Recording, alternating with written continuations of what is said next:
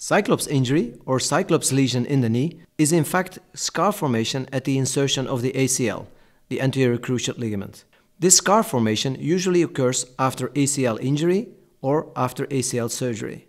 Because the scar tissue frequently forms in a spherical, rounded shape, it gives the appearance of a cyclops when you look at it from the front. That is where the name comes from. Here you see a typical example on MRI. It is important to know, however, that the shape of the scar tissue can also be more scattered and not really rounded, but still it is then called a cyclops lesion. Here you see an example of a more flattened cyclops. The problem with the cyclops lesion is that it prevents full extension of the knee, because it acts as a mechanical block. And full extension of the knee is obviously very important to achieve, because you need it for many activities of daily life. So what can you do about it if you have a cyclops lesion? Well, not so much to be honest. Once it is there, physiotherapy or stretching won't help very much because it will not make the scar tissue disappear.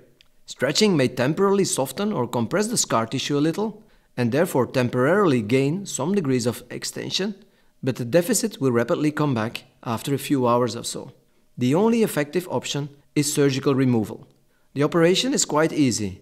It is performed by arthroscopy, that is keyhole surgery, and during the operation, the cyclops and the scar tissue is removed so that the knee can fully extend again.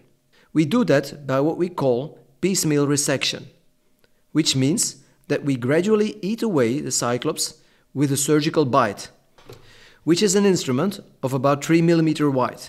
And at the same time, these pieces are sucked out of the joint with a small suction shaver, which contains a rotating blade inside that pulverizes the pieces and sucks them out of the knee.